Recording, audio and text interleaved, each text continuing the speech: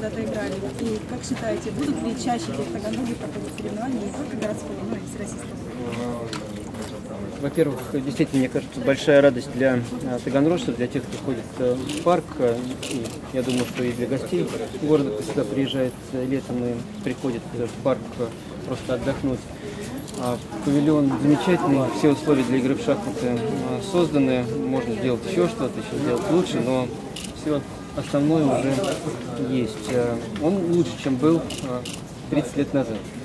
Тогда все было менее э, ухоженно, не так все было э, удобно, и э, внутри не было прохладно, было жарко. Э, На самом деле, в части павильона, насколько я помню, э, просто окон не было, это был открытый э, павильон. Я думаю, что в этом будет очень хорошо и удобно играть. Так что для меня это большое событие. Я очень хотел, чтобы оно свершилось. Спасибо большое городу и области, что смогли помочь это сделать. Дундер, пожалуйста, ваш вопрос. Василий Юрьевич, ну вопрос номер один. Любите ли вы играть в шахматы, умеете ли? И вопрос номер два, вы сказали о губернаторском турнире. Это опять же из любви к этой игре или чтобы повысить престиж области? Ну, я умею играть в шахматы, но играю крайне-крайне редко. Можно сказать, почти не играю. А, но очень хорошо отношусь к этой игре, потому что мой отец, несмотря на то, что он был рабочим, всю жизнь играл в шахматы. И всегда у него рядом лежала кипа газет с кроссвордными шахматами. И он этим занимался. Задачами. Да, задачами, точнее.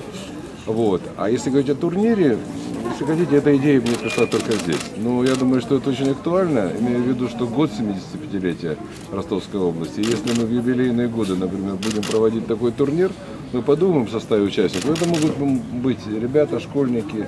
Э, Мне кажется, что с учетом того, что мы вводим и будем реализовывать в области программу всеобыча по начальной подготовке в шахматной игре, то я думаю, что будет актуально вполне. Так что вот так сформировалась идея, она к месту, ко времени. А если иметь в виду, что Согласен. павильон появился такой комфортный, я думаю, что это здорово.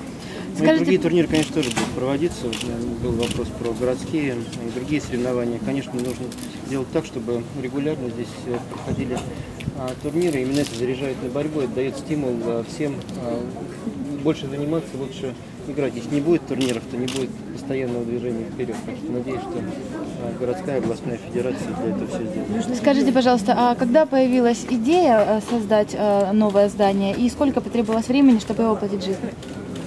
Идея появилась 6 лет назад.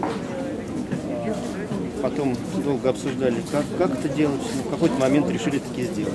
Примерно за два года, я так понимаю, Да, и очень быстро, вот на этот год пришлась основная часть работ, очень быстро реализовали, э, практически за несколько месяцев завершили, качественно сделали ремонт. Сейчас, как Аркадьевич сказал, что необходимо добавить элементов оформления с учетом истории шахмат, с учетом истории шахмат Таганроги, конечно.